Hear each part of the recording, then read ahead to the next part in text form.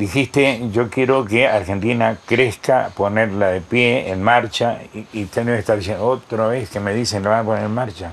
El problema, ¿sabes qué es? Es que en definitiva, eh, al final del camino, eh, se necesita un acto de fe. Tenemos que creer. El problema es que en la Argentina hemos dejado de creer en todo. Y hay que salir de ese lugar. Porque si vos seguís en ese lugar, no vas a poder este, salir.